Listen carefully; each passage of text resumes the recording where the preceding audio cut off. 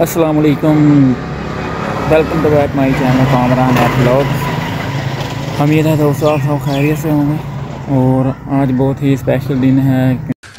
तू समझा? हाँ। नहीं तू समझा नहीं। क्योंकि आज है ईद फितर और ईद फितर की नमाज़ पढ़ने के लिए हम जा रहे हैं।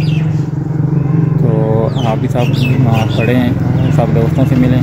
A few moments later. और कल वाले ब्लॉग में मैंने इनको पानी लगाया था और माशाल्लाह बहुत ही प्यारे लग रहे हैं।